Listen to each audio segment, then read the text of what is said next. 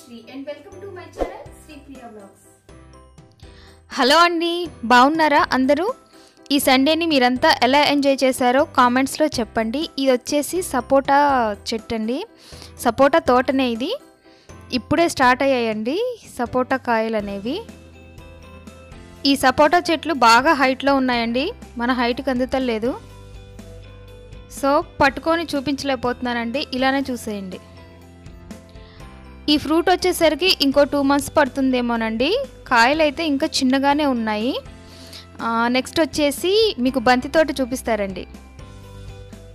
Afternoon తీసానండి దీన్ని నేను.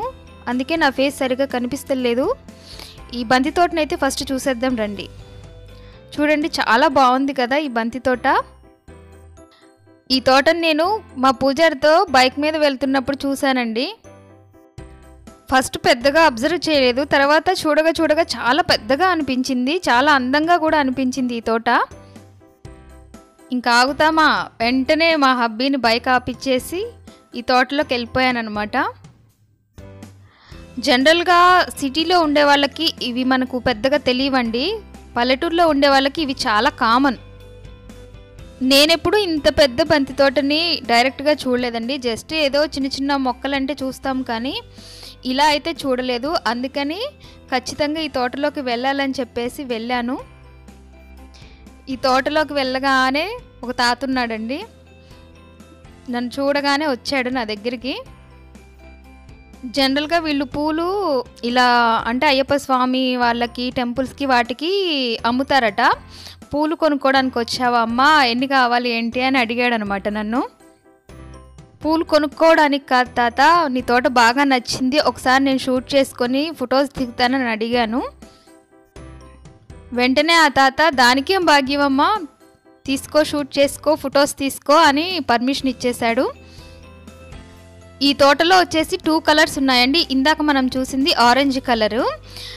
Next వచ్చేసి ఇది ఎల్లో కలర్ అండి. తోట మాత్రం ఎక్సలెంట్గా ఉందండి. అండ్ ఆల్సో చాలా పెద్ద తోట ఇది.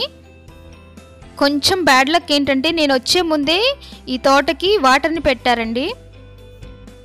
యాక్చువల్గా అయితే నేను ఈ తోట లోపల వరకు వెళ్దాం అనుకున్నానండి.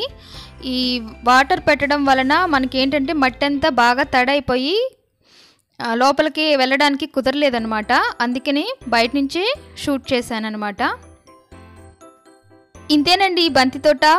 ఎలా ఉందో నాకు కామెంట్స్లో చెప్పండి. నాకైతే మాత్రం సూపర్గా నచ్చిందండి.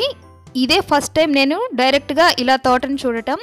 నెక్స్ట్ వచ్చేసి ఇక్కడ కొన్ని చామంతి పూలు రోజ్ ఫ్లవర్స్ రోజ్ ఫ్లవర్స్ తర్వాత నెక్స్ట్ లిల్లీ ఉందండి. లిల్లీ మొక్క ఉంది ఇక్కడ. ఇది కూడా పూలు పూస్తుంది. మీరు చూడొచ్చు వీడియోలో. ఈ విధంగా లిల్లీ ఫ్లవర్స్ కూడా పూలు పూస్తున్నాయి అన్నమాట నెక్స్ట్ వచ్చేసి మందారం చెట్టు. ఇది అసలు ఫస్ట్ యాక్చువల్గా నేను రోజ్ ఫ్లవర్ అనుకున్నాను. అలా అనిపించింది నాకు. తర్వాత దగ్గరగా చూస్తే అది